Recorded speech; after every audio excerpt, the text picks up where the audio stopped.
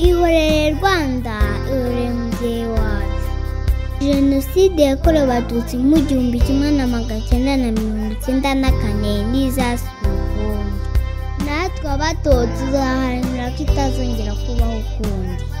Dufatiye urugero ku ntore zirusha intambwe we wahagaritse jenoside akongera kubanisha abanyarwanda bose mu mahoro.